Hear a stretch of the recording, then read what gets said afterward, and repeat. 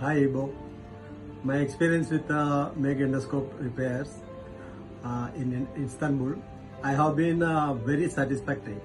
I had very useful practical uh, endoscopy repair session of the latest uh, endoscope technologies. And uh, I must say that uh, Ibo and Oslam are uh, extremely trained and talented repair technicians.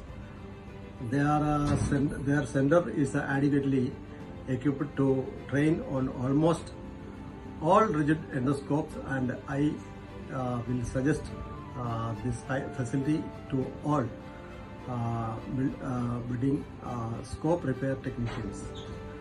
All the best, uh, team. Thank you.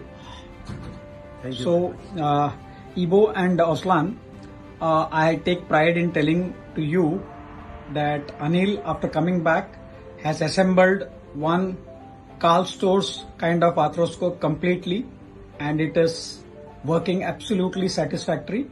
Your training has helped Anil and Everest Endoscopy and me to analyze, assess the damage, and carry out successful repairs on latest scopes, rigid scopes, and